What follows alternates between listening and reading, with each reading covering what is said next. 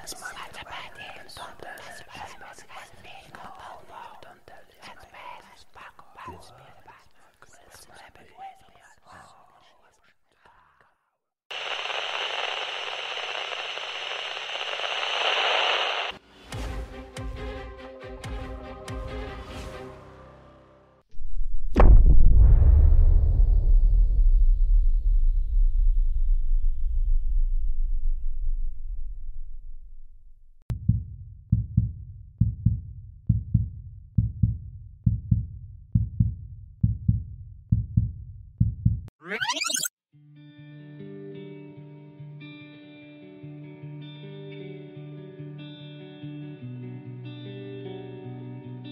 Sometimes you just need to turn off the distractions, get to work, and find the universal truths that affect us all and that govern our universe. This is a good place to do that. Mark Fouts and Kat Hobson will try to help with that a bit by bringing fantastic guests. Let's see what's happening tonight.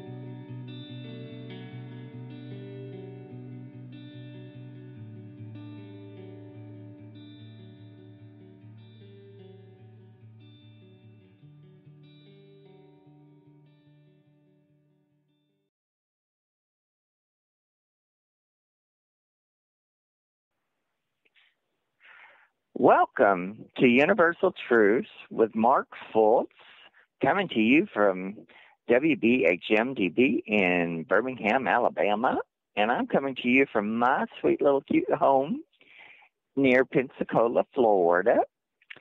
And of course, you know, we're kind of a paranormal show.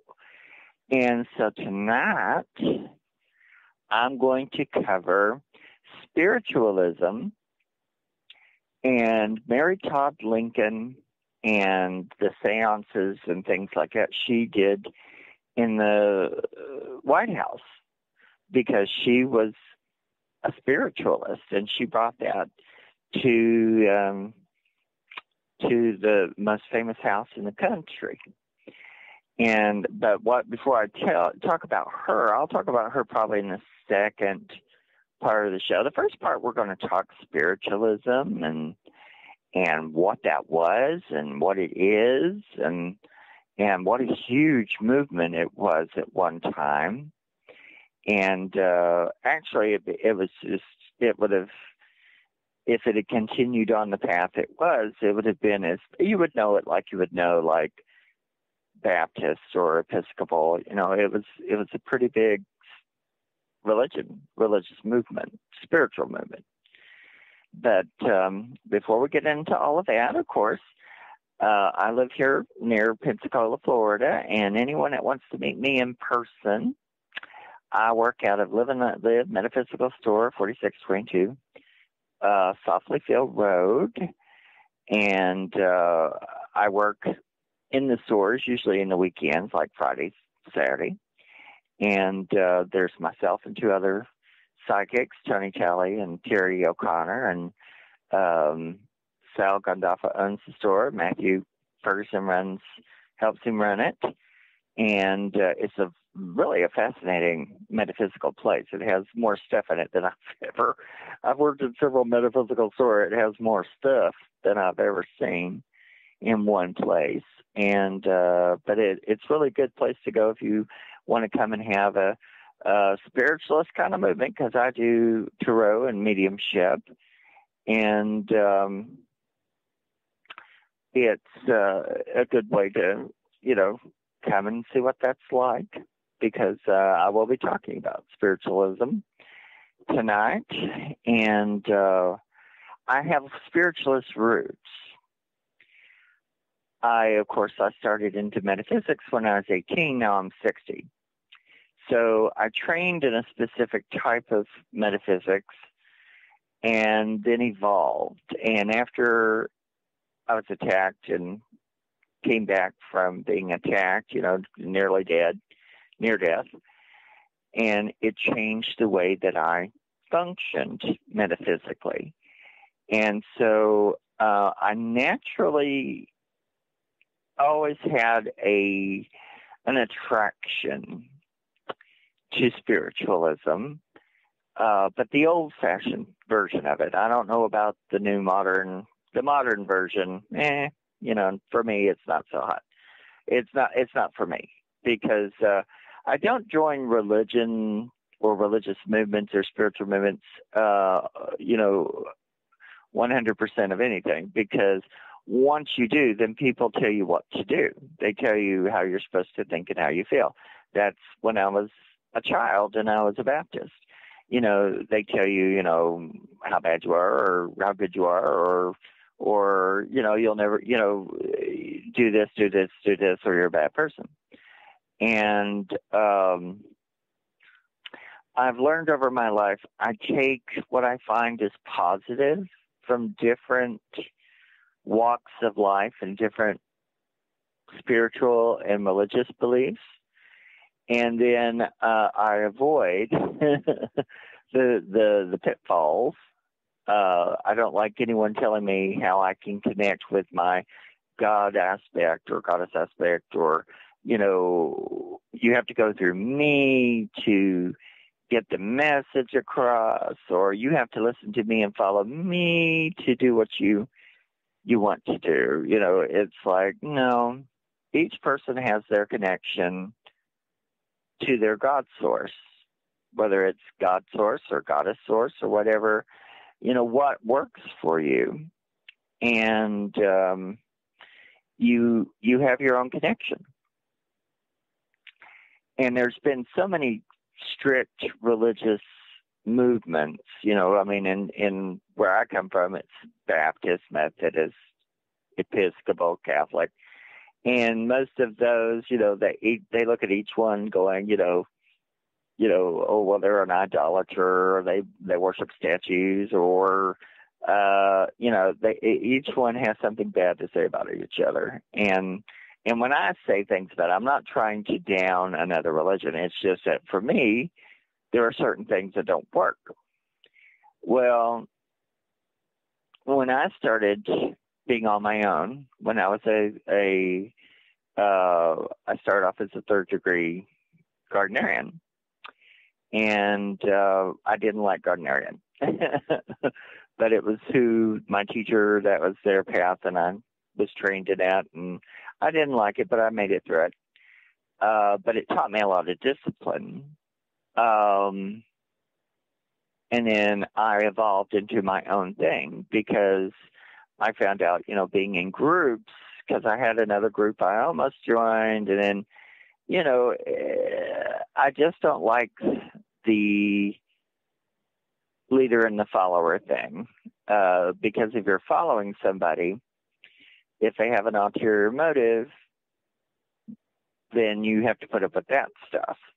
And, you know, then you're not developing who you are. You're following. You think you don't know enough, so you're following this person. You're listening to this person. And so I'm quite into, you know, you can practice things, get around people who believe the same thing, but be a solitary person. Develop who you are. If you're a Christian, try and develop the positive aspects of Christianity. You know, from where I come from, there's, I know, I mean, I, I know very positive Christians, but from the, my family, it was really the hardcore Baptist kind of thing that, you know, everybody else is, you know, kind of dirt and da da da da da. So it's not necessarily the way it was being taught in the church. It's just my family lobbed onto it in a different way. So uh, there's so much wonderful, beautiful things in Christianity. So, you know, be that.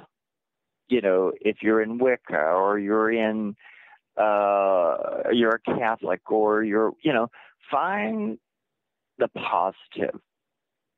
And uh, when I was on my own. Um, I studied some spiritualism, and actually, because I've always had it in there. And what was great about spiritualism know, when it started off, it um, dealt directly, you know, it, it was uh, really kind of a feminist movement. uh, it was ruled mostly by women. But uh, and we'll get into the roots of it here in a minute. But uh, it gave it put people who use their human experience to connect with spirits and talk to spirits, have seances, do readings, um, do healings, do you know? It was just to open. It was it, it was like going back to the Stone Age, you know, where people just they weren't afraid of spirits. That everyday life is affected by spiritual work and spiritual paths and talking to the spirits who are trying to help you. So it opened a door for expansion that we haven't seen in a long time in America. And um, I just was very uh, interested in it. And too, when I was a child, see, out of spiritualism, you have, you know, Ouija boards and seances and things like that uh, that came out of that movement. And when I was a child, for I was I remember watching Dark Shadows when I was four. I was four when they, uh, you know, Barnabas raised out of the casket and got out.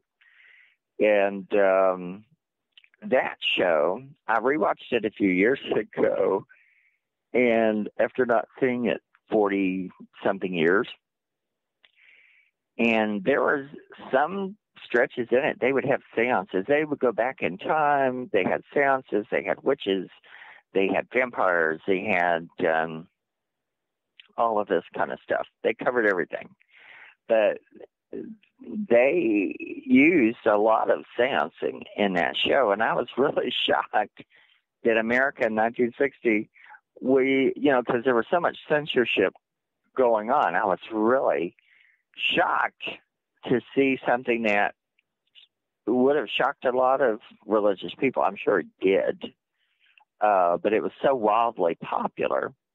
And it influenced the kids. It influenced um, the hippies because the hippies got into the antique clothing and the capes and the dresses and the, so they began going to thrift stores and, and wearing antique clothing and and stuff, and I and it influenced me because uh, I go, I want to do that. I want to do a séance. I want to me- be a medium. Uh, I like that hypnotism kind of looking thing. You know, they would do. They'd swing a little watch in front of somebody, and and um, they had people who were uh, mystical and had mystical powers and abilities, and and um, and it influenced me, I guess. And then a few years ago, I mean, because I've been in in when I was in the metaphysical community in Chattanooga, I just started doing those kind of things. I was working at a metaphysical store, and I'd read a book. I think her name was Susan Northrop, and there was a book called The Seance, and she taught how to do modern seancing. And I remember reading that book and sitting there with uh, Wilma Tucker, who owned the store. Hi, Wilma. And uh, I said I could do that. So, you know, we picked a few times, once a month or so, and I would do a seance. And I remember the very first time that it happened, and I had everybody hold, they uh, you know, what I would do is have everyone close their eyes while I was channeling, and then I would feel the spirit move, and then I would talk. You know, I would be ready. And I remember the first time that it happened, while they had their eyes closed, I thought, "Ooh, what if it don't come? Maybe I should get up and run out of here before, you know, before they open their eyes." But I sat there, and it happened and then I went to each person, talked to their spirits, told them things that no one else knew. And I realized, you know, you just have to be uh, your conduit. You have to just be brave enough to have your own beliefs and to be open. And it changed me. It opened me. Every time I did a seance, it increased my abilities and my sensitivity and my uh, ability to look at other people, look at their electrical system, see what's going on around them. So, you know, um, people who are scientific would probably go poo poo poo on this, poo poo poo, they poo poo everything. You know, that's metaphysical. Well, spiritualism and, and spiritism and all that comes from human experience, which is thousands and thousands of years old, and science is only an infant. It's been around, what, two, three hundred years. And it doesn't know the answers to everything. And there's so many things they can't explain that are human experience. So it's not a woo woo thing. It's not, it's more not supernatural, but super normal. And spiritualists and, and mediums, which I am, uh, we go with what's natural and we follow our instincts and we allow ourselves to be brave enough to do it. Those who are real practitioners of doing being mediums, uh, you know, you have to be kind of brazen. I work every day that I'm in the store. I'm doing mediumship, and people don't realize I do prayers in the morning and prayers in the evening and prayers during the day to make sure I'm keeping my energy at a certain pitch so that when someone comes to me they can benefit from what I have to offer. And also, I have to benefit from it. I have to be able to do the right work. I want to be on spot anytime I talk to somebody about that stuff because you don't know one thing you can tell someone will change their lives, change the direction of their lives.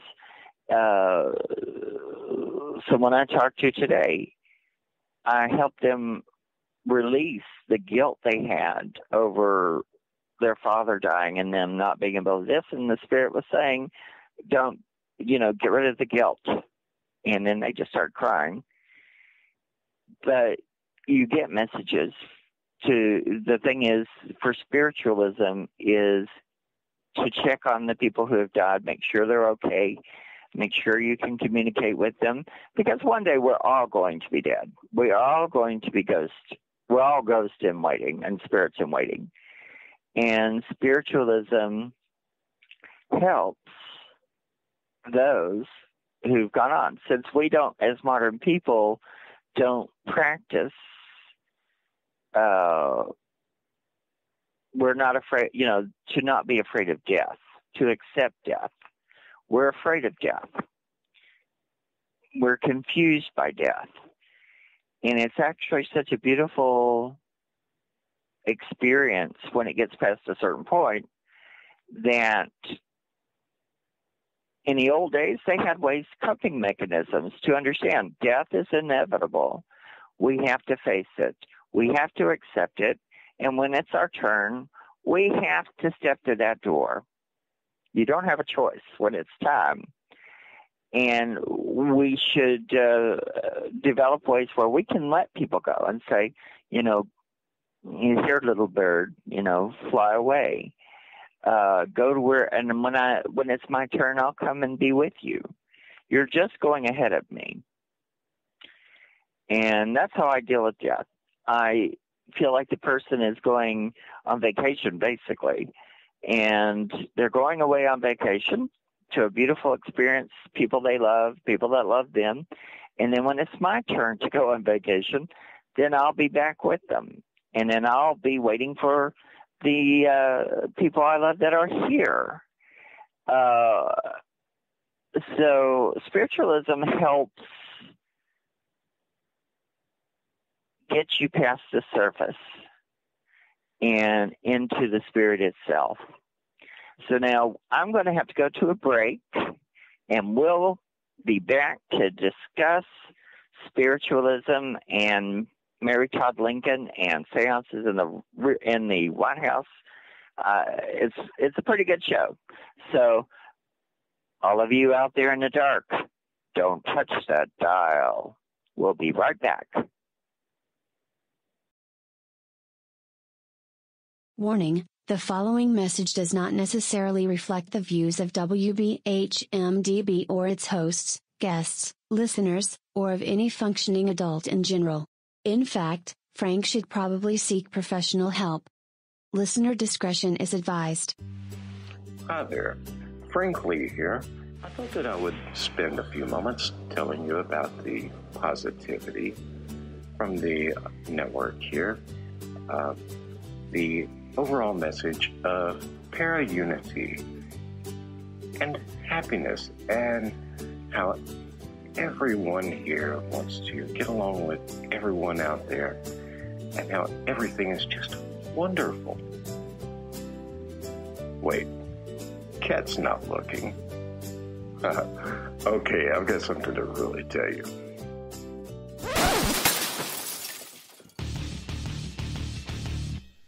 Okay, so I'm going to tell you what's really going on. Honestly, all that being nice and positive crap was kind of hurting my soul, as dark as it is. So, what's really happening? You see it all the time everybody and their brother out there has a paranormal team because they watched a couple of episodes of Ghost Hunters or some crap like that. So they go and they spend half their mortgage payment on tools and things that light up that they don't understand. And then the next logical step after buying matching black t-shirts and posing like 90s rappers for their Facebook page is to, of course, have their own podcast. Well, you know what? You're not going to find that crap here. What we have here at WBHM Digital Broadcasting is the best host, the best guest, bringing you real information. All of the hosts here on this network know their stuff. They are the people who have been out there doing the work, doing actual research. And no, by research, I don't mean binge watching some kind of cheesy TV show on Netflix. I mean reading books. I mean out in the field doing the lay work. And who are they interviewing on their shows? They're bringing you the people they have learned from. They're bringing you the best in the field covering all kinds of topics from UFOs and aliens to Bigfoot to cryptozoology to ghosts to anything you can think of a bit strange and unexplained. It is here, and you're going to get the best information here. So stay tuned to WBHM Digital Broadcasting. Don't go anywhere. Speaking of going somewhere, I've got to go before my mic gets cut. We'll see you there on WBHM DB.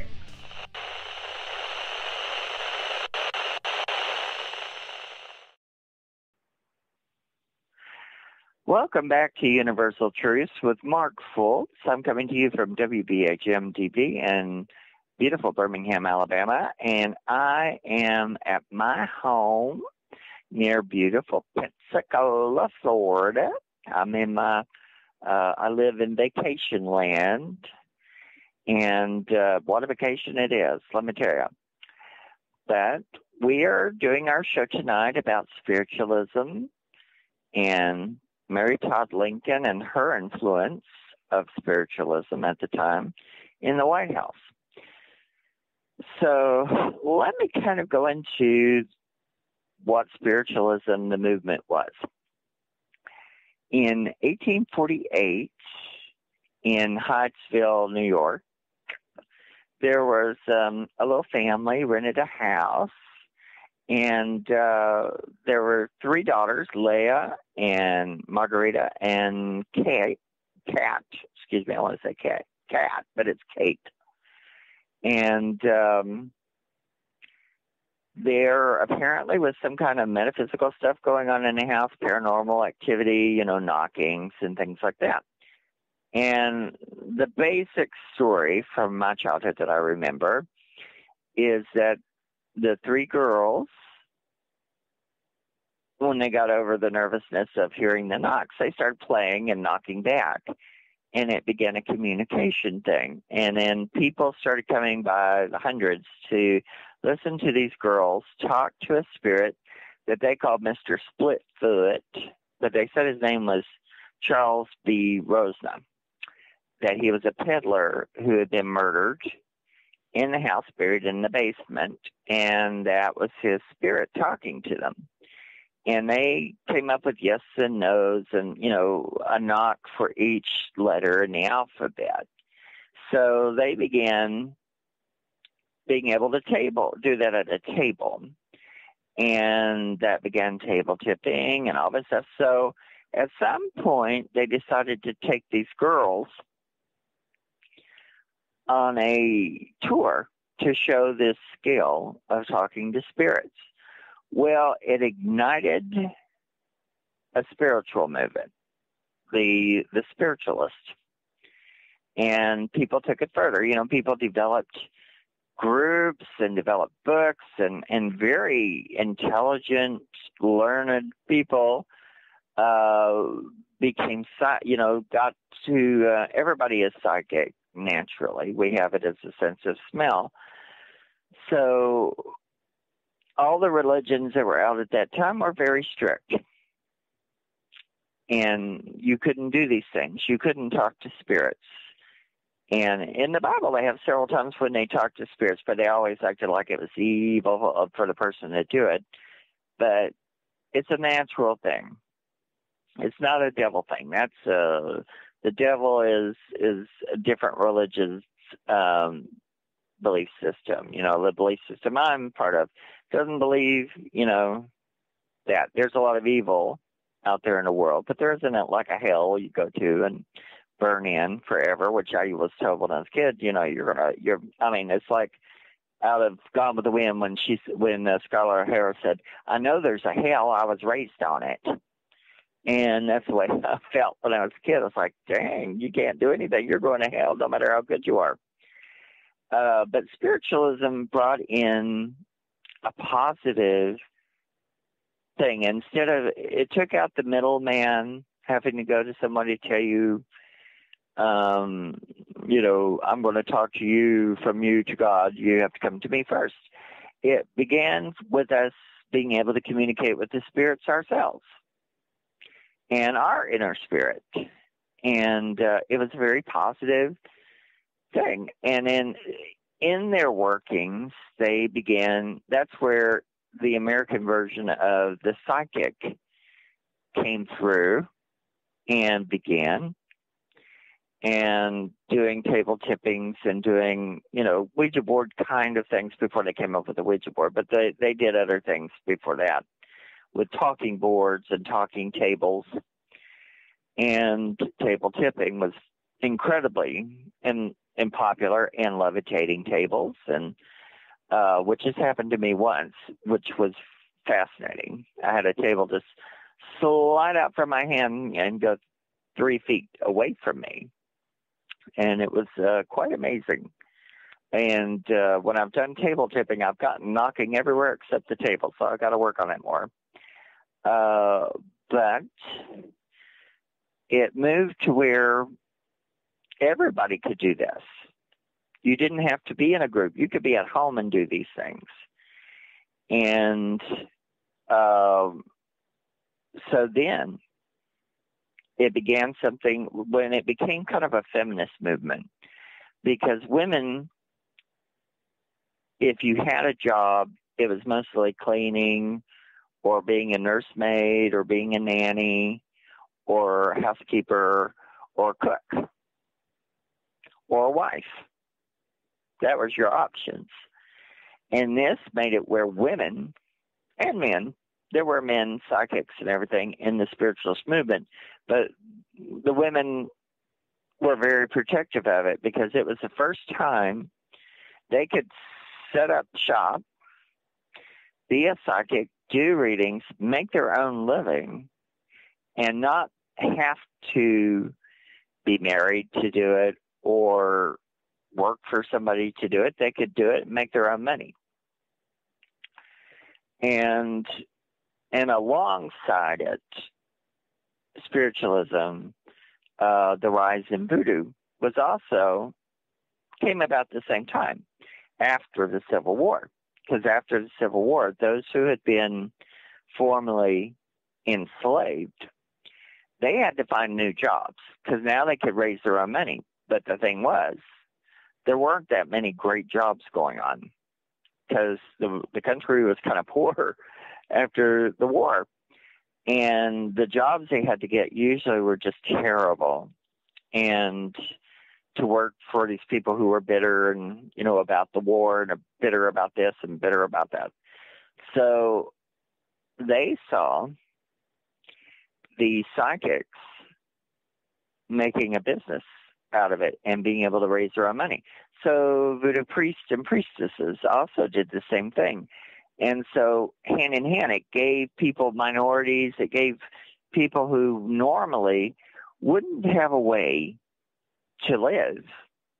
It gave them prestige, respect. There were people who respected many of these people, and also fear in some cases. Some people uh, in Chattanooga, I found tons and tons and tons of stories of you know uh, voodoo and spiritualism, and um, there was uh, an old voodoo priestess that was very respected named they called her Old Aunt Lou.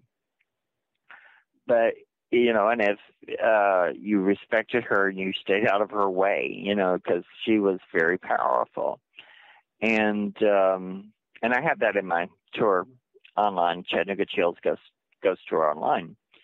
Um, but every city has those stories. The spiritualist movement was huge, and it became enormous during the Civil War because thousands, hundreds of thousands of young men marched out the door, went to be in war, were killed. It was before dog tags, uh, so they might not be able to be identified. They died, like in Chattanooga, there was, or near Chattanooga, the Chickamauga battlefield. At one time, 34,000 men were killed in a two day period. And so they just dug holes and dug trenches and dumped the bodies in the holes. And so you wouldn't know what happened to your son. They were just buried somewhere. Um, or they went out and they died in the woods, or, you know, they, there's no telling what happened to them. So they just knew their children disappeared. So they would go to the psychics and the spiritualists to talk to their child and see if they were all right, if they suffered, if they needed help, um, to talk to them to see how they were doing. And it was a very good coping me- mechanism because they just didn't know. And the country did not make a process where they would get their children back. Because uh, in these places like Chickamauga Battlefield, it's a graveyard of all these unknown men.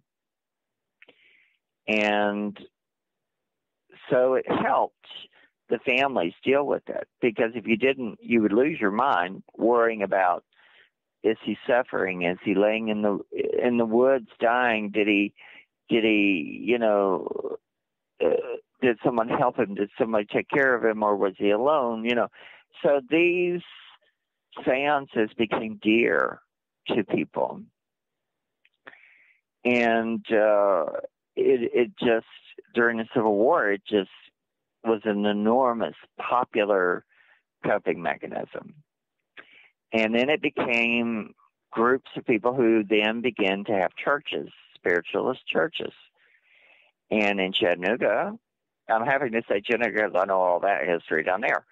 But um, they had a huge spiritualist church, and it was uh, on, uh, I think it was uh, Lookout Mountain, and there was a natural bridge, and they bought it this property, and they would have seances on this natural bridge, which overlooked a, a beautiful waterfall. It's still a park; you can go to it. Gorgeous. Uh, and they would have seances with over a thousand people at a time, if you can imagine. and they would have like festive, you know, festivities, and you could go at different times to go there and and see all these famous psychics from around the country mingle with other psychics, get in groups, do talent revival kind of things. And it was a very, actually, a very positive thing. But of course, with every spiritual movement, every belief system, you're going to have beautiful, wonderful believers who are 100% innocent coming to it wide eyed. And then you're also going to have people go, oh, I want a slice of that and get into it and use tricks and uh, tarnish it, you know, use it for ill gotten gains kind of thing. So you have really good psychics and you have psychics who are skanks. But you have that with every religion. You have uh, Baptists that are great, Baptists that are not, Christians that are great, Christians that are not, Jews that are great, Jews that are not. Uh, you know, any of it you know, there's always somebody in each belief system that, you know, you're going to have somebody in it for other purposes than the spirituality. Because uh, in my family, other spiritualities, you know, we had um, a little mixture. There were there were some relatives who were Jewish. We also had, but they came from a very bad uh, they had to escape Europe, you know, to get away from that. Back in the 1800s, way before the 19, 18, 1940s. Uh, and also we had um, my great great grandfather on my father's side was an Apache, so they had their own spirituality, you know, and uh, so every every belief system has its great people and its not so great people. And with the psychic community, um, you had charlatans and you had real believers. And the charlatans are the ones they look at a lot, you know, to go, look at this, look at this. But, you know, but there were a lot of people who were good psychics in doing. And when I'm saying, you know, that different religions, I mean, because everybody you know, there's Catholic, anything, and not just different races of people. Everybody has some great people, not so great people. And in metaphysics, there are some great people. And then there's some you're like, really? Give me a stick. I'm going to chase them. And I run into that all the time because I, I really feel like when you're dealing with somebody spiritually, you need to be honest and you need to be doing the best work you can for them. And then when I see people playing little tricks, little psychological tricks and stuff to get readings out of people that they're leading them. Because to me, the way I was trained is don't tell me what you want to hear. Don't tell me what you're wanting to look at. Let me tell you what I see then we'll address any other questions. But let me tell you what I see first. And when you do that, you have no information. You know if you're hitting it. And a lot of spiritualists are like that. You know, it wasn't, you know, cold readings. They were, you know, this is what the spirits are telling me. This is what I'm telling you. And when you do it that way, then you get a much better response and a much more dramatic response. But uh, but the spiritualist movement was so big, and then it was huge in the late 1800s. Um, the Fox sisters, uh, all of them died before 1893. They all died, the three of them and there's a lot of controversy with them and all this stuff. But whatever happened with them, it ignited this movement. And in the late 1800s, in the 1890s, I think it was hitting like a like a, in 1897. I think they said they thought there were maybe eight million spiritualists, and that's just what they know, what they knew. I mean, that doesn't cover the little mountain grannies who were doing all this stuff at home, who were doing their every little mountain granny knew how to do a table tipping. Every little mountain granny knew how to um, do levitation, you know. Uh, and a lot of it was, you know, what I call metaphysics, you know, I mean, uh, the science of the of metaphysics. And um, they had their own way of doing it. And it became so popular and so easy to do that it fell out of out of mode after a while because everybody could do it. If everybody could do it, it wasn't special. And uh, after the Fox sisters had died, because there was a lot of uh, things about them, and I won't get into all of it because that's a whole nother other show.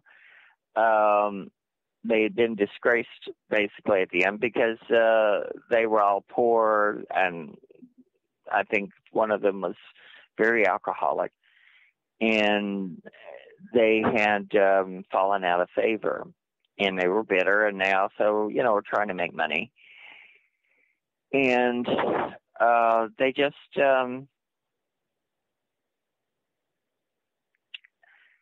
it it was something that moved on beyond them. And so, you know, to have 8 million people following this and creating this and making making campgrounds and making churches, they ignited something that grew bigger than they were. And after they had died in the early 1900s, the house that they had lived in that had the split Mr. Splitfoot, the spirit that would talk to them, some kids were playing in the abandoned house's basement and a wall fell on one of them, so they had to be dug out. And when they did, they found a skeleton or bones, and they found uh, a peddler's metal box. So they said that was, you know, Sir Arthur Con- uh, Conan Doyle said, um, you know, that was proof that that spirit was in that house because the neighbors had thought there was a man who had just appeared it might be his ghost.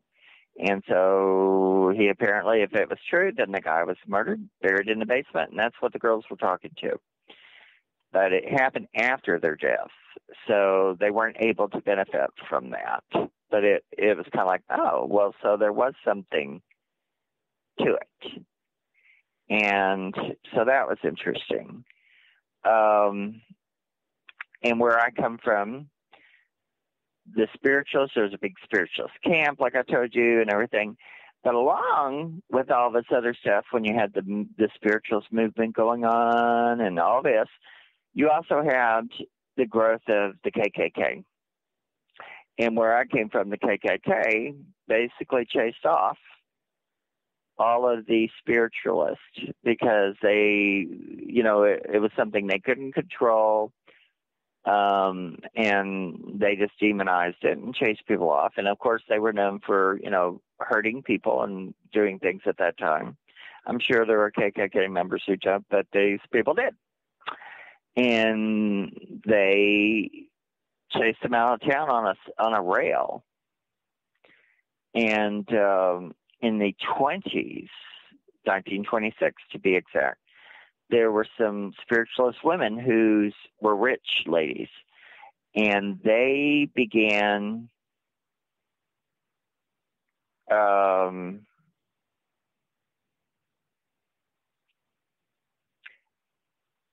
uh, a new thing, trying to renew it in Chattanooga. So right now we've got to go to a break. I will be back in just a minute. Uh, so all of you out there in the dark, don't touch that dial.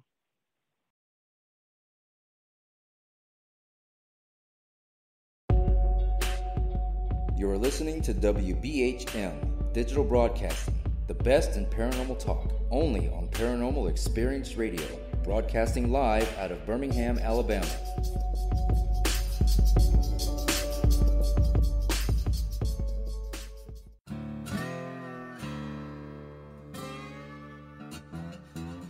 Oh, come on. I'm Southern, but. Um, nope. That'll do. Hello.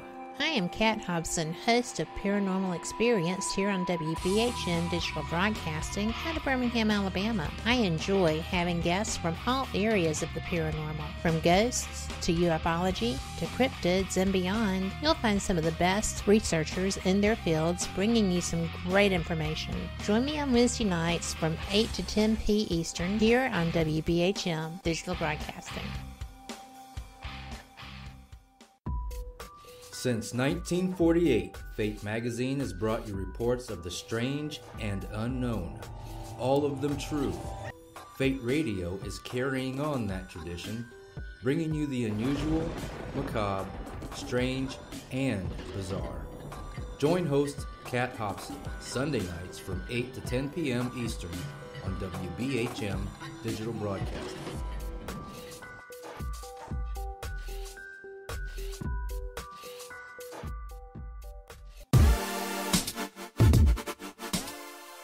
Listening to WBHM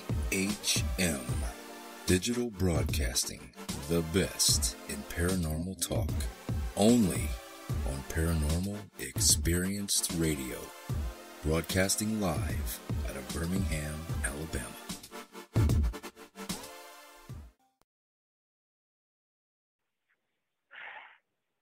Welcome back to Universal Truths with Mark Fouts, coming to you from WBHM TV in Birmingham, Alabama, and coming to you from my cute little tiny house near Pensacola. And we are talking about spiritualism and Mary Todd Lincoln and her influence in the spiritualist uh, movement in, in the White House. So everybody probably had ancestors who were part of the spiritualist movement.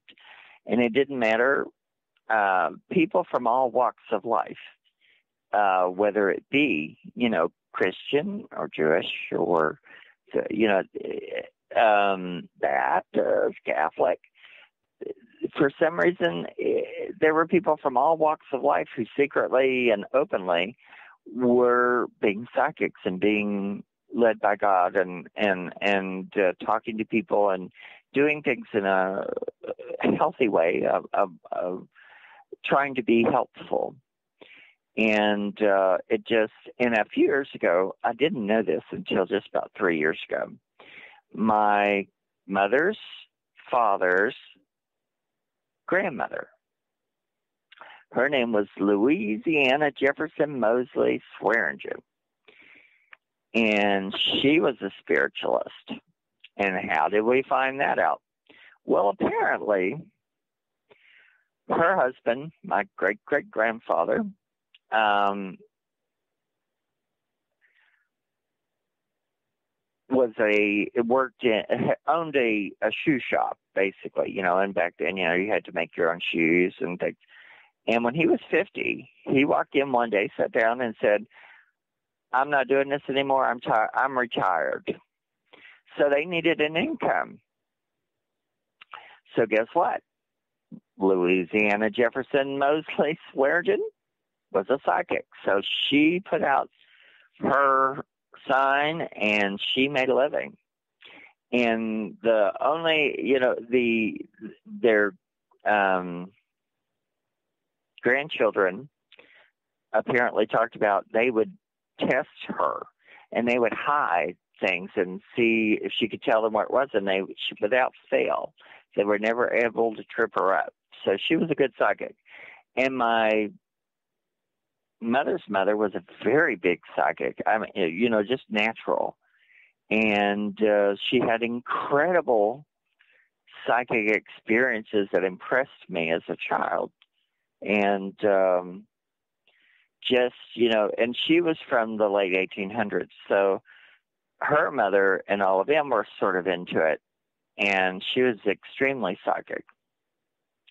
And in in my mother's family they believed in the psychic thing but then they also because my mother's father was uh you know he, he was against all of it but he was in you know he was uh, so they poo-pooed that, so they had to tamp it down some. But my grandmother was a great psychic, and uh, then when it came to me, and I was a psychic, you know, they looked at me through the lens of um, a very strict Christian thing, you know, saying, well, that's bad. That means you're bad. You're a devil worshiper, which is not.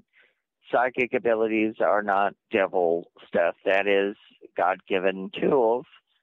And, you know, the devil belongs to somebody else. That's something they, they get. They, they, every time somebody says the devil did made you do it, they're giving the devil power uh, and I'm not a devil worshiper.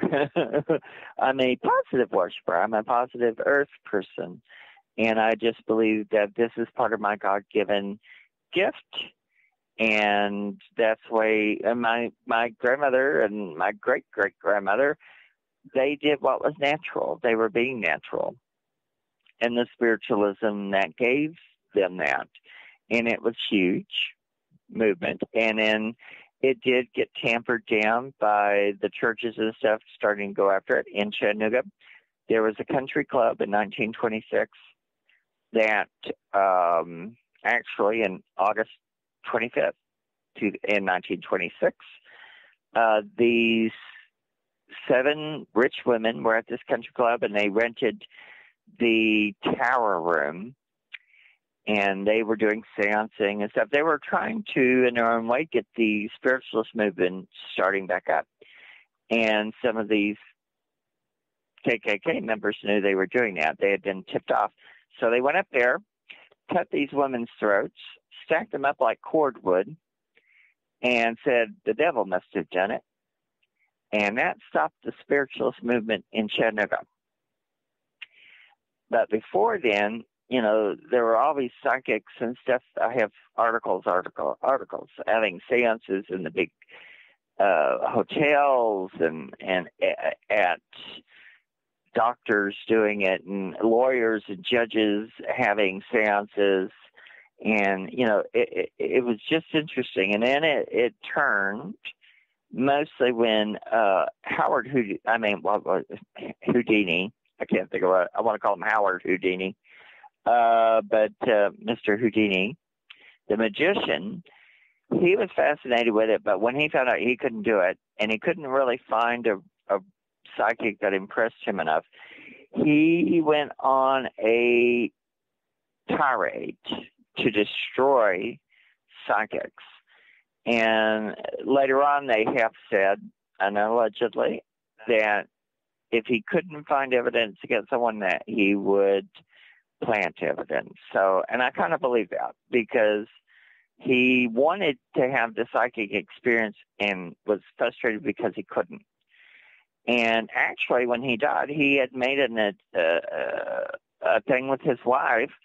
If it, it tried to communicate with me, tried to do a seance, and nobody was able to do it, or if they did, you know, who knows.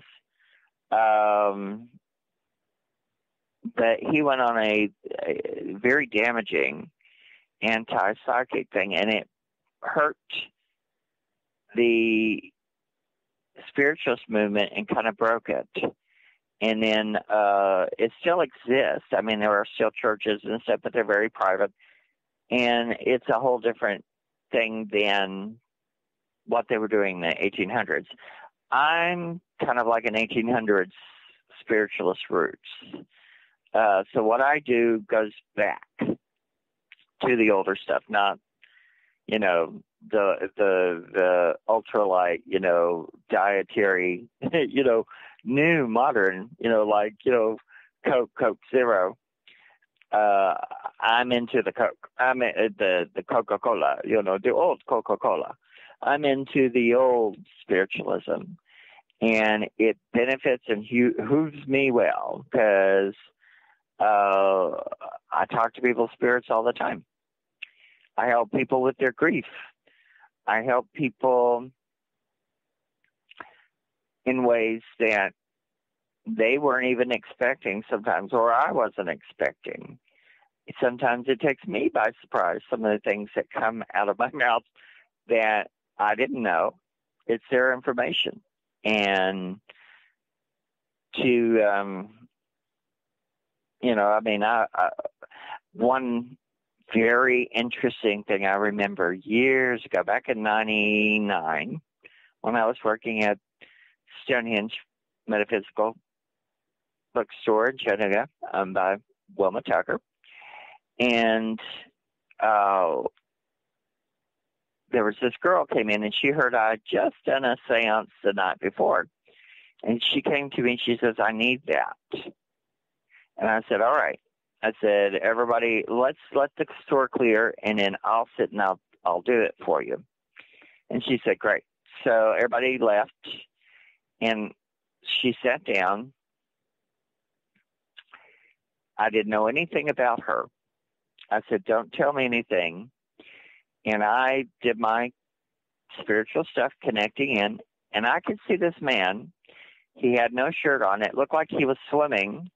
It looked like a pond, but there was like fog all around him. And I said, This man looks like he's swimming or, you know, going to swim. And she screamed like I had shot her. And what had happened? Her husband was going to teach her to swim. So he took her out privately and they went to a little pond and or they swam out to the center and he was teaching her to swim. He had a heart attack and died immediately. And he slipped away from her under the water. She didn't know how to swim. She had to swim all the way to the shore. And she was traumatized because this man, you know, this had happened. And uh, the spirit was there and he would look like he was swimming. I said, you know, he's right there. So I told her he was so sorry. He said, I didn't know that was going to happen. I didn't mean for it to traumatize you and we were able to work it out. And her friends later on came by and said they'd never seen her so happy because it had lifted a huge weight because she felt guilty. He died trying to teach her to swim, and it released her. But boy, when she screamed, scared me out of three lives. But that's how it happens. You never know how it's going to happen. And uh, like I said, when you go to a psychic, though, make sure you're getting the right thing, that you're getting the real psychic. And if you have someone there and they're charging a fee, which is normal, I mean they have to make they have to make a living too, but make sure the fee is nominal, you know, minimal uh, for what it is. Or you know, I mean, some people charge a lot of money and then some don't. But if they start going into other things like, you know, bring me $300 and I'll do this, or, you know, bring me a bag with money, or, you know, come to me every month and I'll fix all your problems. You know, don't do that.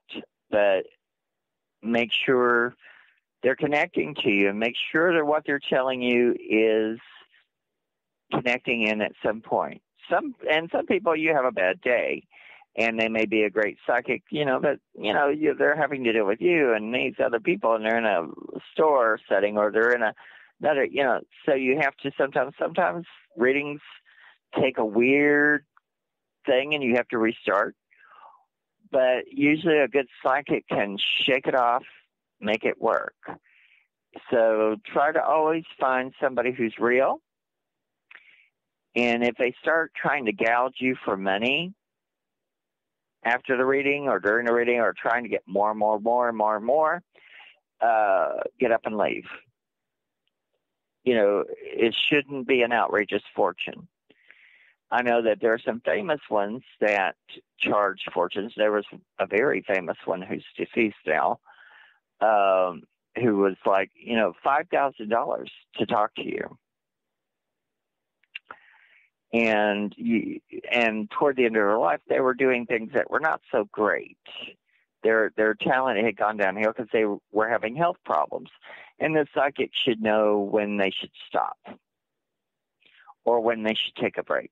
And if they're damaged and they're sick and they're doing terrible readings, but they're still grabbing that money, then you know don't don't do that. You know, go to someone else. You know, because sometimes uh, we're under having to deal with our health and and sometimes people have real talent but sometimes it gets affected. So and if it does you know go to someone else. Um and the psychic may have just had a bad day. And then again you have psychics who nail it and just go to them. I'm actually saving up uh, information and everything to um show people to show proof and get affidavits and and uh, testimonials because um, that's what people look at to see. Because if you don't, then it's just your word, and so you have to build up information. But we are at the top of the hour. I have to take a break, but I will be back shortly. We're gonna and we will go into Mary Todd Lincoln because she's a fascinating story. So, all of you out there in the dark, don't touch that dial. We'll be right back.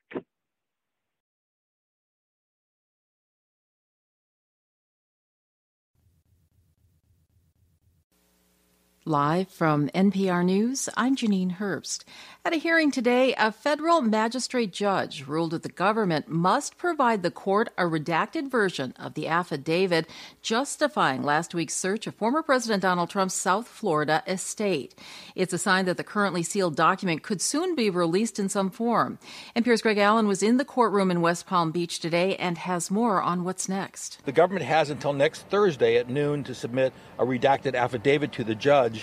And if he agrees with their redactions, he could just sign an order and release it fairly soon, maybe as early as next week. But if, as seems likely, there is some disagreement between the judge and the government on the redactions, that could begin a back and forth between the government and the judge. It all could take some time. And then, if the government ultimately disagrees with what the judge rules, it may appeal the decision. NPR's Greg Allen. Kentucky's near total ban on abortions will remain in effect after the state's Supreme Court denied a request to block the measure. Kentucky Public Radio's Ryland Barton reports a legal challenge against the ban continues. Kentucky's trigger law bans all abortions in the state except in cases when a patient's life is at risk. The state's two abortion providers sued over the law, and while a lower court initially blocked the ban, appeals courts have allowed it to be enforced while it makes its way through the legal system. The state Supreme Court did set a date when it'll hear arguments over the case, November 15th, a week after Election Day. That's when Kentuckians will weigh in on an anti abortion amendment to the state constitution. For NPR News, I'm Ryland Barton in Louisville. A federal appeals court has denied a request by oil and gas companies to move lawsuits filed by the city of Hoboken, New Jersey, and the state of Delaware to federal court. NPR's Laura Benshoff reports it's the latest win for states and cities suing fossil fuel companies over damage caused by climate change. The city of Hoboken and state of Delaware say they are uniquely affected by sea level rise and flooding caused by climate change. So, a couple years ago, they sued fossil fuel companies who they say knowingly contributed to it to try to get them to pay for expensive climate resilience projects. Oil and gas companies tried to get those cases moved to federal court where they might get a better outcome, arguing that their drilling activities were permitted under federal regulations. A three judge panel sided against those companies, ruling this week that the two cases could proceed in state courts. Nearly 20 similar suits are filed around the country, from South Carolina to California. Laura Benshoff, NPR News. Fewer people filed for unemployment benefits last week as the labor market continues to be the strongest segment of the U.S. economy.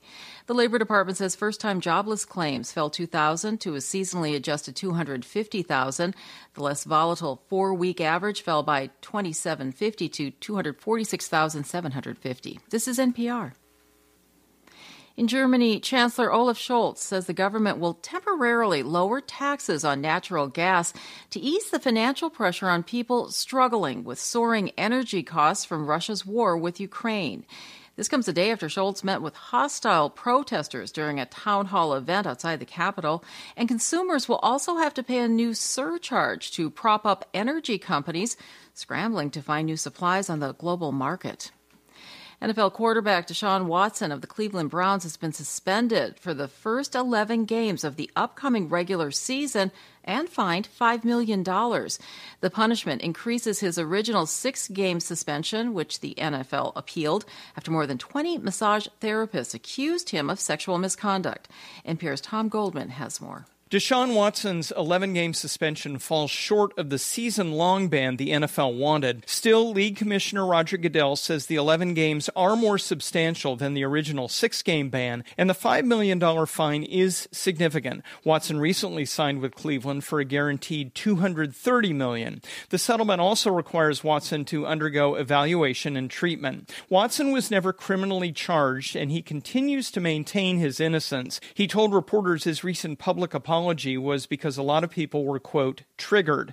Watson settled civil suits with all but one of the roughly two dozen women who accused him of sexual assault and misconduct during massage sessions. Tom Goldman, NPR News. U.S. futures contracts are trading flat at this hour. I'm Janine Herbst, NPR News. We all have moments where our limits are tested. What I want to talk about is how we define those limits and what it means to exceed them. I'm Jay Williams. Check out my show, The Limits, where I talk to people who have overcome theirs and achieved great things in business, sports, and culture. Listen to The Limits from NPR. Welcome back to Universal Truths with Mark Fouts, coming to you from WBHM DB in beautiful Birmingham, Alabama. And I'm coming to you from my sweet little tiny house near Pensacola, here living in vacation land. Well, we are talking tonight about spiritualism. Now we're going to start talking about one of the saddest political figures, couples really actually, in our history, which is Abraham Lincoln and Mary Todd Lincoln. And pitiful doesn't begin to describe it. Um, you know, poor little Abraham was raised. Um, he, his mother had been, um, became pregnant by one of her, the man she worked for. He sold her off, basically married her off to this guy who ended up being Abraham Lincoln's uh, father and uh, he loved his mother, and uh, but she died early. He was he really he had a terrible time. Uh, his mother died early. He had a stepmother, I think, that he loved very much. Uh, he is apparently very a very loving person and very gawky, and you know he they thought he might have Marfan's, which I have, which is makes you very tall and gangly and he was just a very tall, gangly, strange young man who was turned out to be one of a brilliant mind, uh, who really came from nothing. He really came from nothing, and he lost. Like I said, he lost his mother. He, which Mary Todd Lincoln did too. She lost her mother early, and then he was in love with a young lady that died. And they said he would just get so depressed, especially when it would rain. He would think, he would say, it would depress him to think about the water raining down and getting her wet in her grave, you know. And I thought, that's pretty depressed. And uh, when he met Mary Todd Lincoln, now she came from a very well to do family. And she was very she was raised by people who were into politics. And unlike a lot of women, because at that time, if you were uh, a well-to-do white woman, you were meant to just get married, marry well, and you know that was your have babies, and that was your life, you know, and have your nannies raise everybody, and then you go and be elegant, and and then at some point you die and that's a successful life, you know, for a woman back then. And uh, you know, and I, even up until the '60s, Uh, I know I've said it in my other shows before, but it's true because girls were expected to, you know, they would make trousseaus. My mother put a trousseau together for my sister when she was 10 years old, going, when you get married, you'll need this stuff. So that uh, she made her a cedar chest. And nobody does that anymore, thank goodness, in a way, because in a way it was cool because you would get, you know, uh, your ancestral, you know, antiques and things. But it also was just about you're a girl, this is all you're meant to be. Your goal in life is to get married. But Mary Todd Lincoln could hold her own at the table. She was very politically savvy and she was very intelligent. And things that happened later in her life, we also believe she was very bipolar. Um, and bipolar people are actually can be very, very intelligent. Um, now we have so many medicines that help that. That, but back then there was nothing. The only really painkiller they had was morphine or cocaine, you know, kind of stuff. Um, and you could get morphine through the Sears and Roebuck book for a long time. And uh, with a syringe, and I'm like, uh, um, but she was actually very intelligent. And when she met Lincoln, I think she saw this diamond in the rough. And we really, I don't think, would have gotten the Lincoln that we got if it weren't for Mary Todd Lincoln. Uh, she pushed him. And when she pushed him and was, you know, gave him some some support, uh, he did blossom in that department. I think, and a lot of people don't think to think that because history has demonized her a little bit. but in the beginning, I think she was a good support for him. And when they got married, um, they ended up having four children. Now, she had uh, Robert, who is much older than the other three, I think. I think he was into teenagehood when the other ones were born, or he was even maybe um, an adult. I can't remember, but I know he was older. And then uh, she had Eddie and Willie, and then Tad. And they were apparently thrilled with their children, especially the really young ones. They just loved them. And before he got into office, Eddie died when he was four years old. Um, and that was just terribly devastating. I mean, you know, it's one it's one thing to miscarriage. It's another thing to have a baby and be attached to the baby and the baby dies. Then you have a child who's already gotten to four years old and they're talking and you're connected with them and every, and that it's just so devastating for anyone to lose a baby or a child. I mean, to lose a child it just, I can't imagine. But, you know, they got through that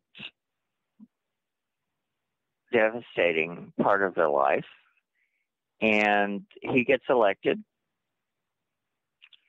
And while he's in office in 1862, during the war, I believe, um, Willie got typhoid, and he was 11 years old, and he died in the White House. And that's when Mary Todd had been interested in spiritualism. But when Willie died, she really got into it heavy. And it was the only thing that gave her comfort because she just became so depressed and it really also, I think, kicked in her bipolar check uh, tendencies. Which, when you have bipolar, sometimes you're you're an extravagant spender. even though you don't have money to spend. And she became an extravagant spender that stressed Abraham out because he didn't have a they, he got an income as president, but it's not like today. And he had a little income, but she made him a pauper while they were in there because she couldn't stop spending. And actually, when he was reelected, she was real relieved because she knew that if he hadn't been reelected, they would have been in trouble because she had gotten him into a lot of debt. So he, she was able to pay those debts off because he got a better salary. He got the money, so she paid off the debts that she had run up to that point. And, but she became huge into spiritualism.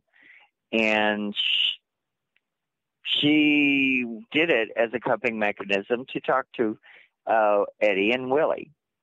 And she got to where she would just tell people, well, Eddie and Willie are alive. They come to me at night and they stand there and smile at me. Sometimes Willie just comes by himself and sometimes Eddie comes. And to her it was it was real and they were uh really talking to the spirits. So she actually had her spiritualist friends come and they believe she had about eight seances they know of in the Red Room. And Abraham came to several of those to appease her because he knew it was the only thing that made her happy. And he was busy having to uh, do the war, trying to get the country through this, and losing his children and uh, going through devastating depression. He was he was pitiful, really. When he would be out visiting the camps, the, the camps and stuff like that, and going seeing the soldiers, when they would put him out to sleep, he would ask for and get. They would give a soldier to him to sleep with him. Because in the old days when he was young he used to sleep with his brothers and not sleep in the you know naughty sense. To he just needed company. And so they would have soldiers they would assign to him to give him comfort because he was so insecure lonely depressed he had the war going on that was a huge and he took it very seriously. He did not do it like the ones nowadays, you know, that are uh, kind of devoid of it. They don't know. He was out in the trenches watching this stuff, and he was very depressed. And on top of it, he had a, a wife who there was no medications for her depression, and he was depressed, and she was more depressed. And they had one young son living with him, Tad, and you know she just became what do you call it? A kind of a hypochondriac towards him. You know, well the other ones die, you're going to die, you're going to die, and actually after everything happened with Abraham. Uh, when Tad was 18, he died from tuberculosis, I believe or and um, he was panicking because he couldn't breathe, and so he died terrified, which that sent her over whatever edge there was left. And of course, you know, when she was with her with Abraham before all of that, um, Abraham had a premonition he was going to be killed. You know, he had that big dream where he went into a stateroom and he could hear crying and he saw a coffin and he said someone he said what's happened? And someone told him the president has been assassinated. And now it's like you know a few weeks before his assassination. Um and then when Mary Todd Lincoln was sitting next to him. And that night she had had a premonition and said, maybe we should not go. And he went, no, we need to go. He needed to get out. He needed to relax. And she was sitting right next to him when he was shot. And we're going to have to go to a commercial. But when we come back, we're going to continue about Mary Todd Lincoln and her spiritualism. So, you out there in the dark, don't touch that dial. We'll be right back.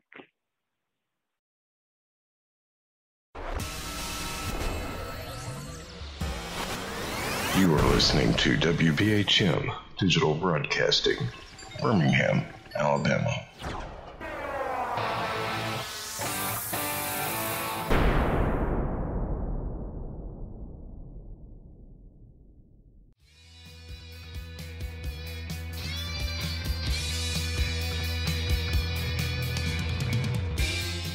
Paratalk Radio is your one stop for all things paranormal, the unknown, and the supernatural. Join us every Monday night at 8 p.m. Eastern, 7 p.m. Central for discussions and guests on topics such as ghosts, hauntings, Bigfoot, UFOs, and more. This broadcast is rated M for mature and intended for listeners over 16 on paratalkradio.com.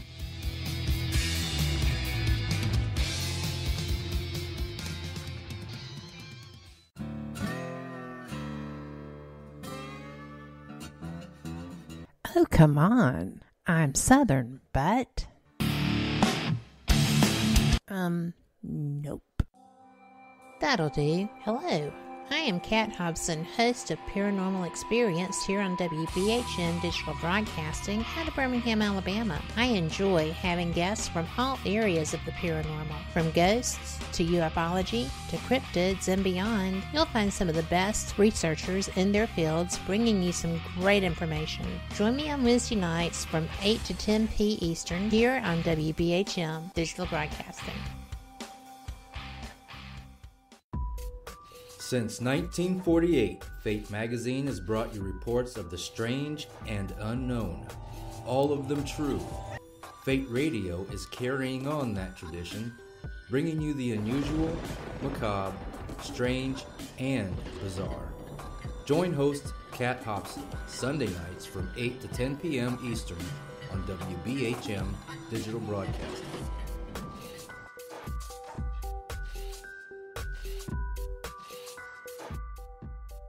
Thank you for listening to WBHM Digital Broadcasting out of Birmingham, Alabama. Since 1948, Fate magazine has brought you reports of the strange and unknown, all of them true. Fate Radio is carrying on that tradition, bringing you the unusual, macabre, strange, and bizarre. Join host Kat Hobson Sunday nights from 8 to 10 p.m. Eastern on WBHM Digital Broadcasting.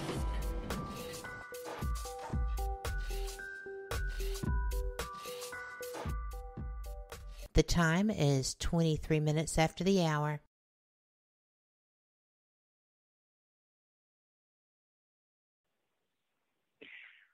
Welcome back to Universal Truths with Mark Fouts, coming to you from WBHM DB in beautiful Birmingham, Alabama. And I'm coming to you from my sweet little tiny home in Pensacola, Florida.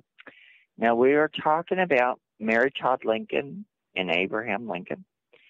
And when I finished the last segment, she she was sitting next to Abraham.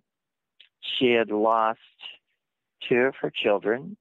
She had lost her mother. She was was losing uncles and things like that, very close people during the war. And then she's sitting next to her husband that she had had a premonition about, and he gets shot in front of her. And so she loses what mind she has, of course and they actually when he he lived for i think until the next day. So they took him to a room. They had to remove her because she was just so distraught. And they finally brought her back in right before abraham died. And actually, I remember reading something where um, just as he started to die, his face, he got a, a very sweet smile, relaxed. He got a relaxed smile on his face, and they said they had had not seen him that relaxed in years. And he smiled, and then he died. Which I've experienced that. I know people who've died with smiles on their face, and that's because um, going through the death process before the near death process, it's you are so happy when you start seeing these people and they're calling you and you're feeling it.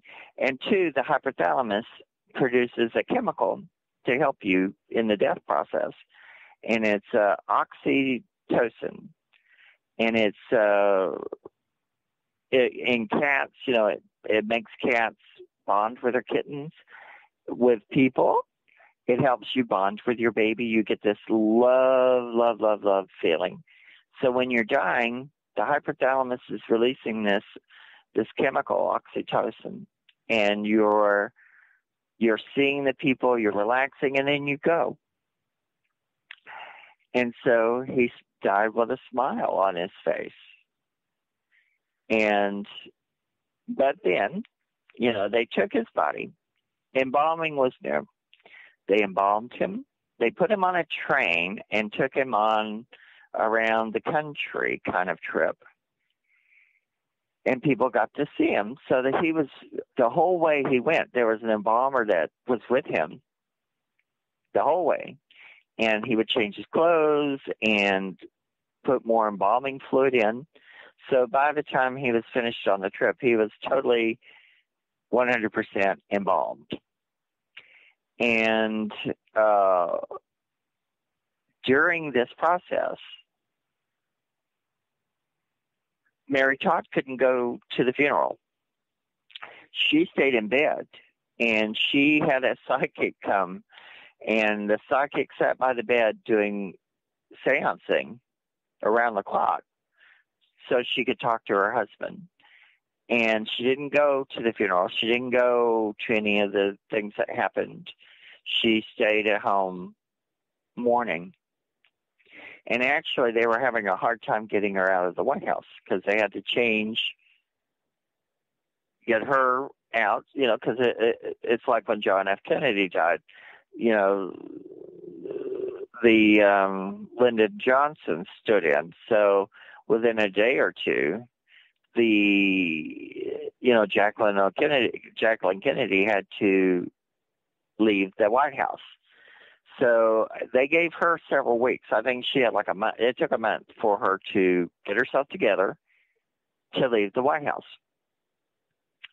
And when she did, she kind of did it at night.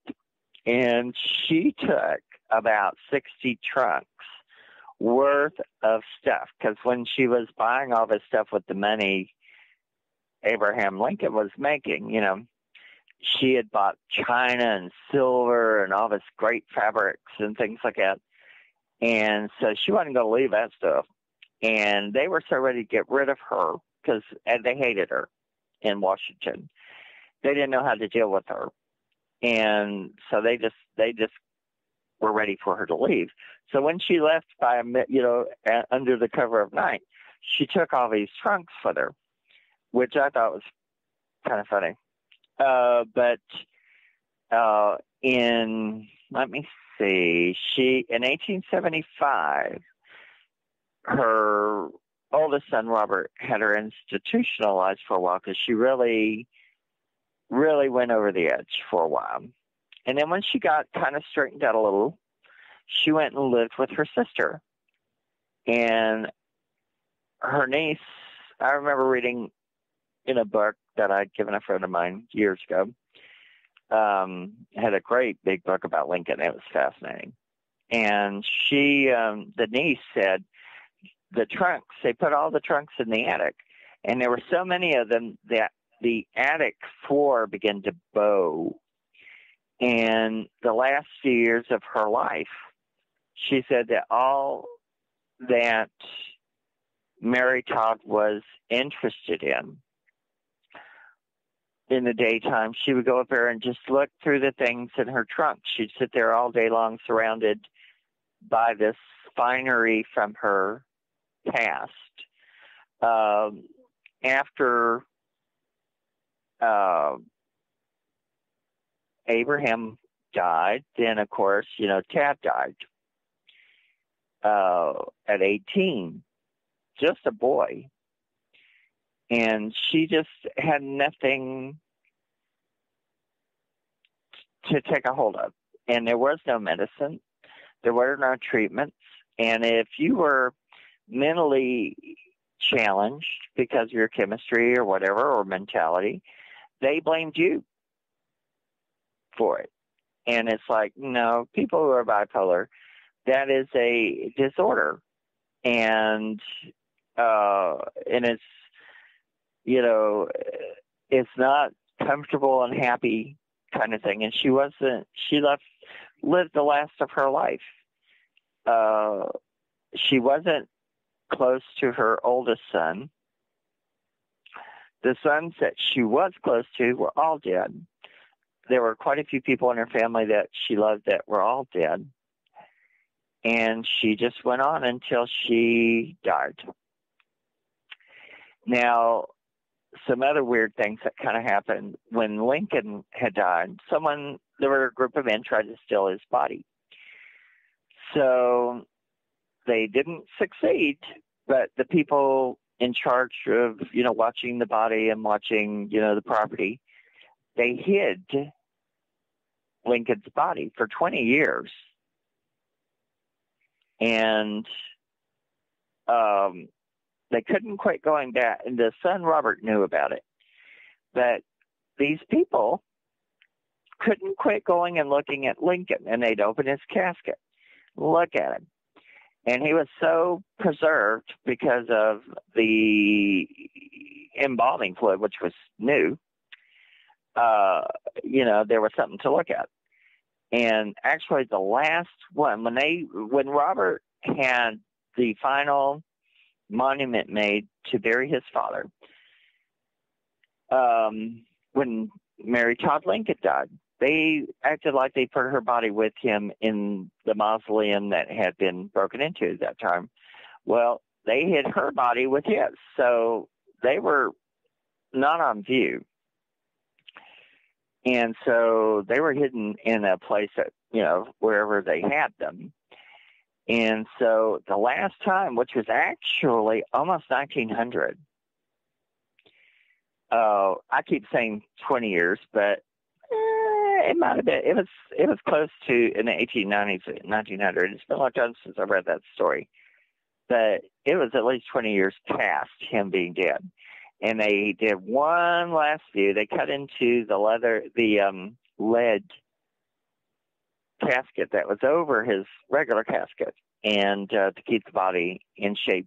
And they peeled back a piece of it and looked at him, and he had turned totally white.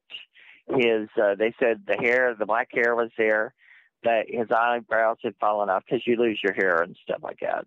Um, uh, but he just looked like a statue. He looked like a white piece of statue, marble.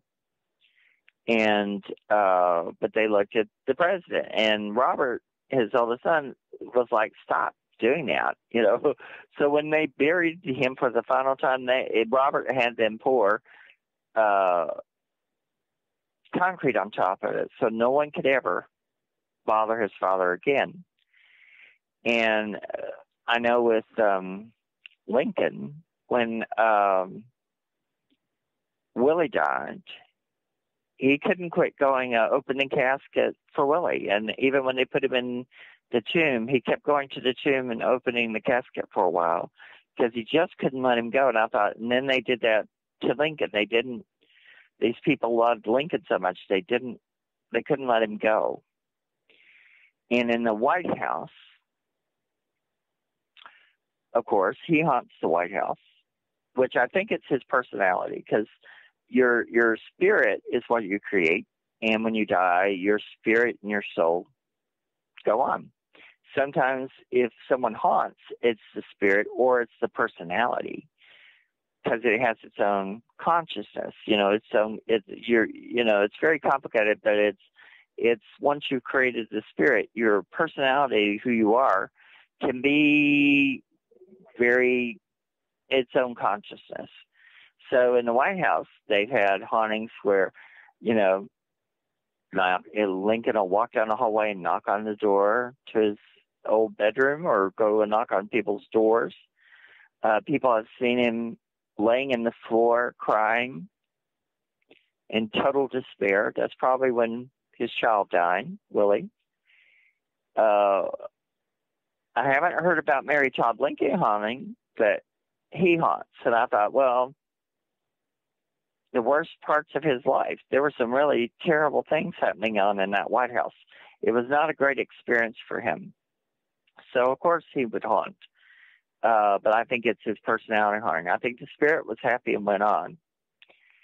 And um, of course, nobody sends on the ghost in the White House, so he haunts the White House. Uh, and Mary Todd Lincoln, um, when she died, you know, that just, they never had a good thing to say about her because when she was in the White House with Abraham Lincoln, she also, she was very outspoken and she would uh, stand up for her husband, and she would, uh, and she knew politics, and she could take those politicians and turn them inside out, you know, like a pillowcase. And they didn't like her. They didn't like women having an opinion. They still don't. you know, strong women. If you're a man and you have a strong opinion, you're, you know, you're respected. If it's a woman, then you're a witch with a bee and uh, and she could be right, you know, but they didn't like her. So history hasn't treated her well. And but if you think about it, she just had one trauma, one trauma, one trauma after the other. And who's to say? I mean, would you be able to keep your mind if you lost three of your children and your husband, and your husband being shot? in front of you. I I just don't know very many people who could keep their marbles, and um, she just was pitiful. He was pitiful, and uh, you know, and he did. I think he did the right things for the country. He tried. Uh, there were things that you know I probably wouldn't agree with, and there are some things I do agree with. Uh, I think he did what was right, in the way of you know stopping slavery, you know, but he died for it, and uh, so he just had, and I think he knew it would happen. He just knew it would happen, and uh, but he just was a pitiful character, and um, so was she. And actually, I own a piece of one of her dresses. Uh, one day I'm going to do a channeling and I'm going to channel her and see what condition she's in. If if she transitioned and her spirit went on, or if she's having issues, because she was so. Sometimes you get discarnate people because they cannot let go of the sorrow and they can't look forward and go towards the ones they love because they're still going, but, but, you know. So we'll check on her at some point uh, but she is. Um, I think they need to do a good movie about her, not just him, her, because she. There, I don't think there's any other first lady who went through what she went through, and and for it to be happening, and for her husband to in her depression and his depression and he was the war was going on and he couldn't give her attention like she needed. And she worried about him and she worried about her children and she worried about you know uh, she became so um afraid and so sad and uh, and she had all these problems, you know, because um, there were several times, you know, she could have ruined him just because they could not stop her from secretly spending money. And she couldn't stop that. That's because of the bipolar. And that adds another layer of guilt and another layer of guilt on him because he couldn't stop her.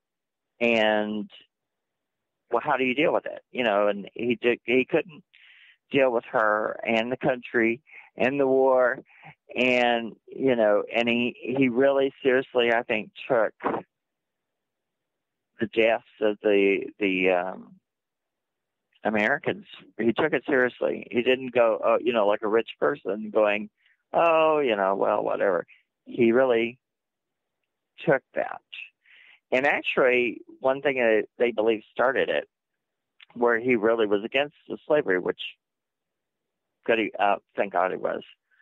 Uh, he went to a house called the Crenshaw House in Kentucky, and they had uh, a beautiful house. Blah, blah, blah, but the third floor they used for their slaves, and he was so appalled at that they believe he went there for a visit, and they believe that's where he really changed and and really went you know we have to change this. But again you know he sacrificed his life for that. And um he didn't have happiness but uh, but I think it's so fascinating that she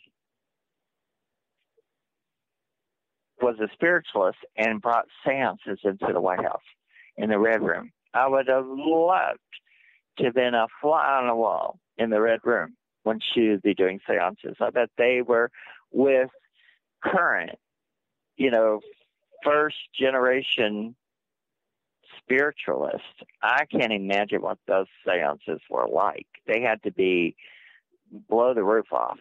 But like I said, he and Abraham knew that that gave her comfort, and he went to some of them and uh, that's just something that you wouldn't see today. You know, they wouldn't be able to do that today. And um, I just think it's fascinating. Part of our country, and it went, the, and spiritualism was so popular. Here it is. It was in the White House, at at, at the uh, in the seat of our country, basically, and uh, just fascinating just fascinating. And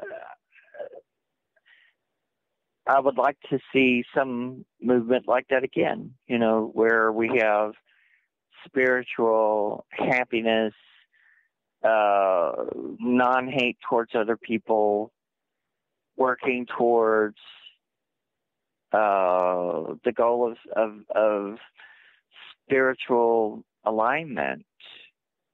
And um, it just is um I would like to see that movement. I would like to see something like that. Something that's not you're bad, we're good. Um, let's help each other develop. Let's speak to our spirits. Let's speak to our ancestors. Let's make the world a little bit easier for the next people coming along. And uh, I hope one day we'll have that movement. I hope I get to see it because uh, everything keeps coming around. We still have spiritualist stuff here. We have psychics talking to you right now. So, and I'm a direct descendant from the spiritualist movement itself. So, it's still around us. It's still an important thing to me. So, um, and hopefully one day you can uh, experience it in a positive way. Now we're going to have to go to a break. I will be back to finish up the show here in just a few minutes. So, all of you out there in the dark, don't touch that dial. We'll be right back.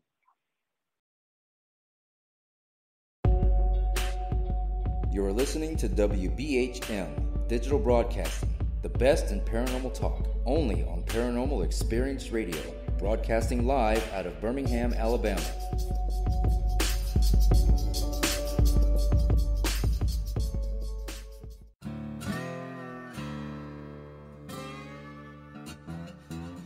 Oh, come on. I'm Southern, but. Um, nope. That'll do. Hello. I am Kat Hobson, host of Paranormal Experience here on WBHM Digital Broadcasting out of Birmingham, Alabama. I enjoy having guests from all areas of the paranormal, from ghosts to ufology to cryptids and beyond. You'll find some of the best researchers in their fields bringing you some great information. Join me on Wednesday nights from 8 to 10 p. Eastern here on WBHM Digital Broadcasting. Since 1948, Fate magazine has brought you reports of the strange and unknown, all of them true. Fate Radio is carrying on that tradition, bringing you the unusual, macabre, strange, and bizarre. Join host Kat Hobson Sunday nights from 8 to 10 p.m. Eastern on WBHM Digital Broadcasting.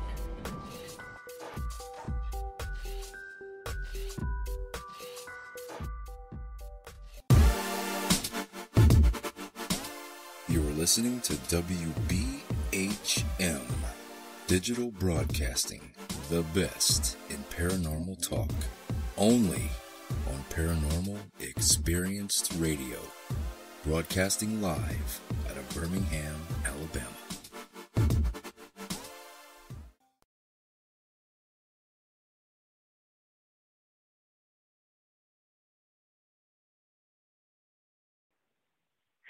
Welcome back to Universal Truths with Mark Fouts, coming to you from WBHM DB in beautiful Birmingham, Alabama, coming to you from my sweet little house in near Pensacola, Florida. And we're getting close to the end of the show. Um, I hope that you enjoyed this information about Abraham Lincoln and Mary Todd Lincoln and the spiritualist movement, which uh, like I said, every time I go to work, I'm using spiritualist techniques. And I've created my own line of, of communication boards and, and things like that. And people, when they go, oh, a Ouija board, I don't have Ouija boards. I have spirit boards, which are charged, uh, that I did charge the ink, I charge the paper, I draw the artwork, I I cleanse the board, I apply the the artwork. I do a week's worth of energy work on it. Then I use it as my communication device. Now, Ouija boards do work, and they do. They are kind of they are a offshoot of the spiritualist movement. It's a spiritualist. It's something to help you talk to spirits, and it works. But the thing is, you have to think about it. It's an uncleansed board, and a, you just get it in a box. People put it down. They put their fingers on that planchette, and they go, "Is there somebody out there?" They haven't cleansed it. They haven't done any prayers. They haven't done any energy work, and then you're calling in a spirit. And if you, a lot of people forget to close it. They don't take it seriously, and they open up and they call to the dead, and they don't close it so then they have issues and problems because it is a doorway. You don't even need that to call a spirit. And uh, so, you know, you have to always learn proper techniques. And so if you do Ouija boards or you do spirit boards or you do table tipping or you do um, levitation techniques, uh, which is some kind of physics, really. I don't know how to explain it, but I had uh, uh, a person I knew that was real big in this stuff. He, you know, explained the physics to me, but I was too young and dumb to know how to process it. Uh, but if you do these things, do it with respect. Do do it with um, prayer, energy work. Clean your tools. Clean the table with vinegar. Anything that you know don't just go in and going, hey, is there somebody out there? And then leave it running, walk off and not close it. If you use a board, say hello, and at the end of it, say goodbye. Um, and they, the, the lack of respect of it is they sell or were selling, I don't know where they sell them now, but Toys R Us was selling them. And they even had a pink Ouija board for girls several years ago, and I thought I would just I thought, no, no, no, no, no, no, no, no, no, no, no, no, and uh, because it can be dangerous in the way you use it if you don't treat it with respect, because you're calling a spirit. And a lot of spirits are out there, and you look like your aura looks like a, a light on a foggy street. So you call to something you don't know, you know, it can turn out weird, but with the right people, the right connection, the right uh, intention, the right respect, you can have spiritual experiences. You can talk to spirits without having uh, the exorcist happen. You know, that's not normal. Um, and to say there are things out there you don't want to talk to, but that's where you have to deal with the psychic. If the psychic is developed enough to be able to go, well, that's not such a great thing, or that is that's that's it's all right, or it's not all right. You know. So do everything in moderation and proper. Because the spiritualist movement had a lot of things to it that are still now. That was started in 1848. You're talking to a psychic and the psychics are out there: Tyler Henry, James Van Praagh, uh, the the um, oh, I can't think what her name is. The one, the ma- the madam one, uh, the one with the the the the blonde hair, and there was um, there's one I like named Kim that I've watched on uh, the hauntings or uh, haunting. Um, there are some great psychics out there but we all owe our roots to the spiritualism, to our ancestors going, let's look beyond the flesh. And like I said, you know, someday if somebody wants to do that kind of movement again, we could do it. If you think about it, if you had a religious movement that spoke to the highest good of of God and yourself, um, and accepted everybody, not a country club. Say everybody but the gays or everybody but them or everybody but that. You know, if you included everybody because everybody's a spirit, can you imagine the amount of people who would come to sit and listen to someone talk about how to try and raise your life up, how to be positive, how to be think of yourself as a spirit having a human experience. How are you going to you're here how are you going to deal with if you have past life issues, you know, get those out of the way. If you have present life issues, get those out of the way. If you succeed, if you fail, it doesn't matter. You know, how are you as a person? You know, because some of us get out of this life with a good life and a good ending. Some of us crash and burn, and we leave this life in a, a ball of confusion and despair and problems. And, um, you know, we it's kind of like we need to have psychology for the spirit. We have to have psychology for ourselves but let's be psycho- psychologists for the spirit and to try to move that forward to say we're bigger than the container we're in. And if we really could look at people and say, I accept you as you, not by uh, an outline somebody gives me and says, well, if they don't meet this criteria, they're bad people just because they don't meet your criteria. Not that they're bad people, but you know, let's get over the country club thing. Spirituality is not a country club. Everyone, when you die, there's a natural process. Everyone goes through that natural process. Then from there on, you know, you get to go and see whoever you're going to go see. But if we made it joyous and made it where people could join hands, raise energy, sing to the spirit, sing to raise energy, to bring about change, to bring about health, take people, put them in the center of a group of people, and put love and energy and frequency on them.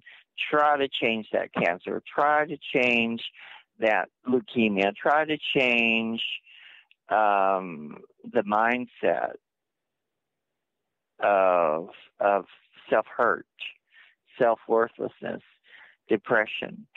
Um, it would be lovely, and I think it'll happen one day. I think it will happen. Um, it needs to happen because, and then people are losing interest in the regular religions because like I said, it's kind of a country club. And if you go to a religion and it's bringing you happiness, it's wonderful.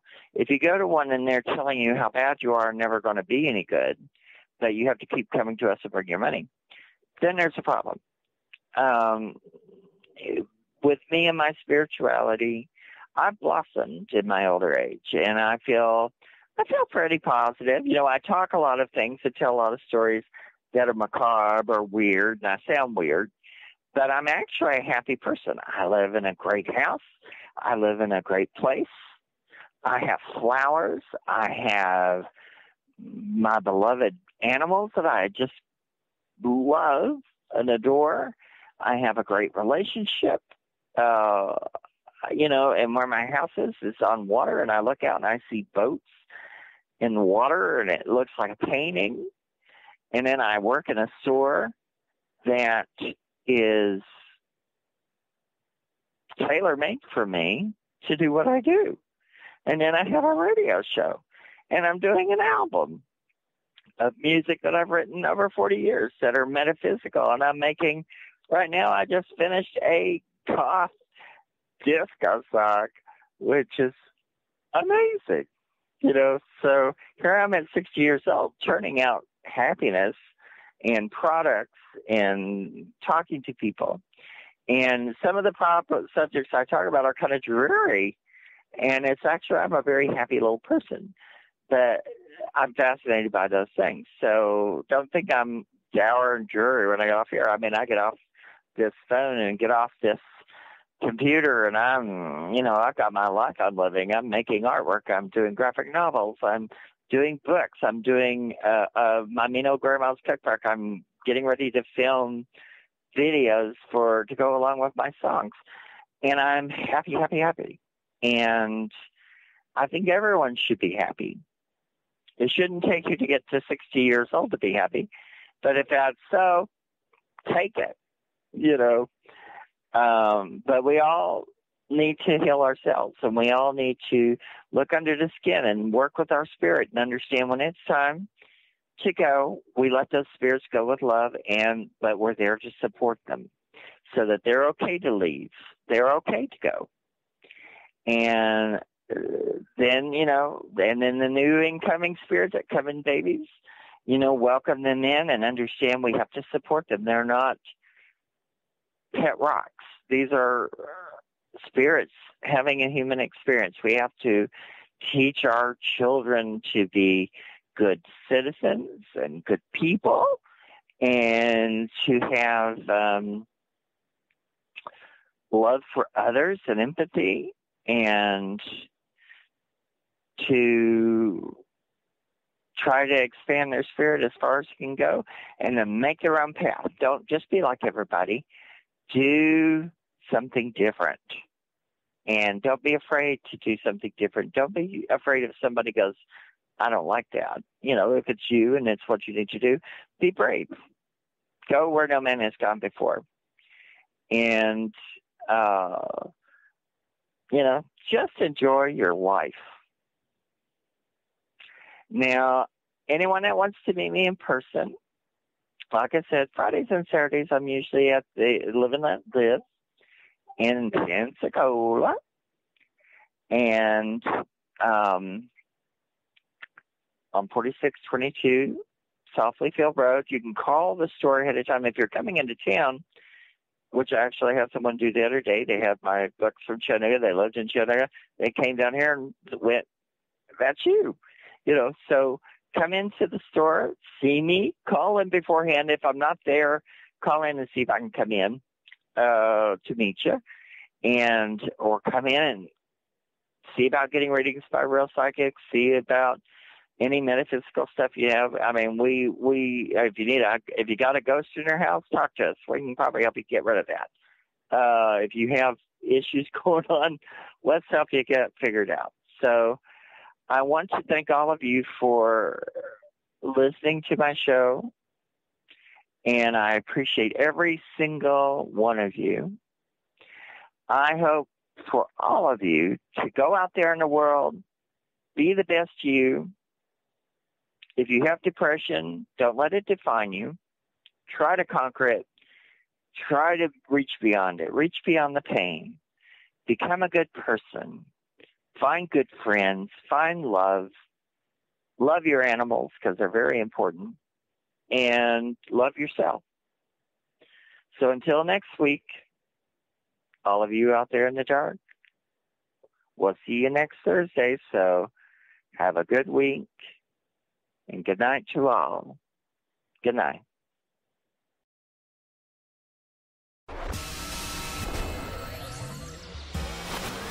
You are listening to WBHM Digital Broadcasting, Birmingham, Alabama.